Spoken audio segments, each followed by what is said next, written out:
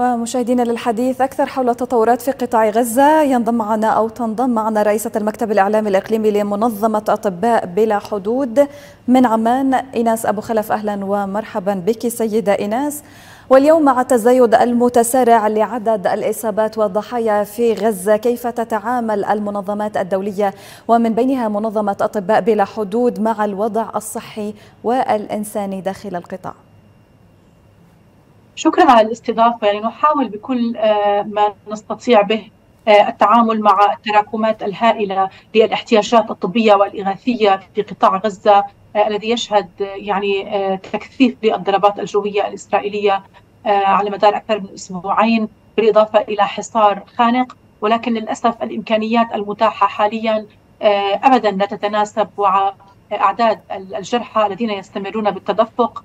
الفرق الطبية منهكة منهكة جسديا منهكة نفسيا والوقود آخذ بالنفاذ إضافة إلى آه، عدم توفر المياه الصالحة للشرب كما استعرضتم قبل قليل نعم. وأيضا نفاذ المستلزمات الطبية آه، نحاول نحن التعامل مع الأعداد الهائلة للجرحى ومن خلال يعني وضع آلية معينة لترتيب الأولويات ولكن للأسف يعني هناك توازي في هذه الأولويات من حيث آه، شدة الإصابة وكثافة الأعداد الجرحى ودرجة التعقيد. آه، معظم الحالات التي تدفقت إلى مستشفى الشفاء حيث تعمل فرقنا هي تحتاج إلى تدخلات جراحية عاجلة وهامة ولا تتوفر حتى مواد التخدير ولا مسكنات للألم. فالوضع صعب جدا. آه، نحاول آه، يعني بقدر المستطاع آه، تغطية هذه الاحتياجات ولكن حتى الطاقة الاستيعابية للمستشفيات لا, لا, لا تتمكن الآن من التعاطي مع هذا هكذا أعداد. نعم. الطاقة الاستيعابية في مستشفى الشفاء على سبيل المثال هي لا تتجاوز 700 سرير. الآن لدينا أكثر من 3000 جريح. بالإضافة إلى آلاف من النازحين الذين يتخذون من المستشفيات ملاذا آمنا لهم. الوضع نوعا ما يعني فوضوي جدا. الفرق تعمل تحت الضغط الجرحى يفترشون الأرض بدمائهم بجروحهم. فحتى يعني الظروف العامة على مستوى التعقيم هي تفرض تحديات كثيرة. علينا أن ندرك أيضا أن الأعداد الذين توافدوا إلى المستشفيات ما هي إلا غيض من فيض. هناك أعداد أكبر للجرحى آه، لم يستطيعوا الوصول إلى المستشفيات بسبب آه، آه، يعني تدمير الطرق بسبب القصف والانقاض هذا من جانب. وهناك لا يزال جرحى عالقون تحت الأنقاض. لا نعم. سيما مع يعني استمرار عمليات البحث والتنقيب عن مزيد من ناجين أو أو جرحى. فالوضع صعب جدا و يعني نحن لا نعلم ماذا سوف يكون مصير المستشفيات التي هي بالأساس آه، عددها ضئيل جدا ممن تمكن وتمكنت من الاستمرار بالعمل. عدد المستشفيات محدود جدا. اليوم مستشفى الشفاء هو يمثل الشريان الحيوي آه، داخل قطاع غزة وبالتالي فإن الضغط عليه كبير لا سيما مع موجات النزوح الكبيرة التي تستمر بالتوافد فالأمر يعني مقلق جدا حاليا.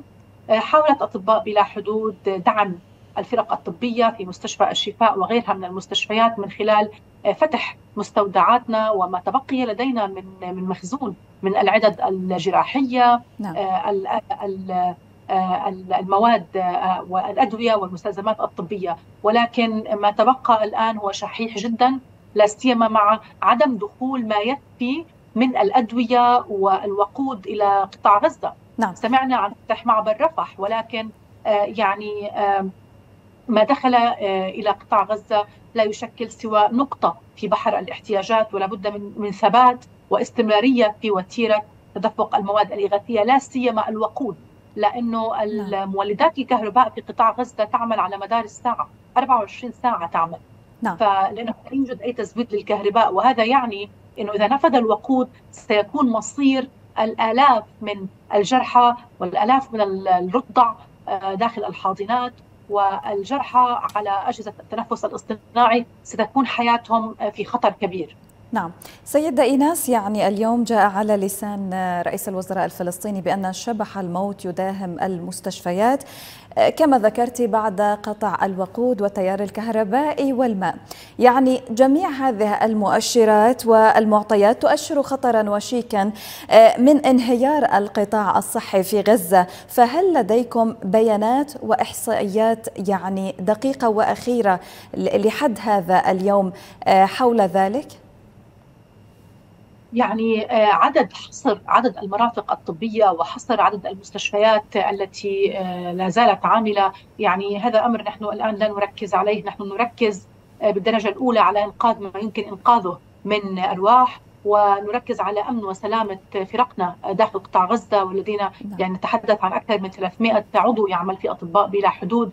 فجل تركيزنا الآن ينصب على يعني مساندة الفرق الطبية التي لا زالت تعمل داخل قطاع غزة من خلال توفير الإمدادات الطبية مما هو متاح لنا آه، داخل القطاع نعم. نحاول أيضا حشد آه، ما يمكن حشده من المواد الإغاثية وبانتظار إشارة السماح لنا للدخول داخل قطاع غزة بما في ذلك إدخال الفرق الطبية المتخصصة لأن الفرق الموجودة بطبيعة الحال آه، منهكة نعم. فهذا هو يعني التركيز الأساسي بالنسبة لنا ونحاول أيضا أن نضع العالم في صورة ما يجري من خلال تجديد ندائنا لكافة الفاعلين السياسيين وكافة الدول الأعضاء في مجلس الأمن بضرورة التحرك الفوري والضغط على إسرائيل لوقف استهداف المدنيين والمنشآت الطبية يعني واحترام قرار مجلس الأمن 2286 والقاضي بتوفير مساحة إنسانية آمنة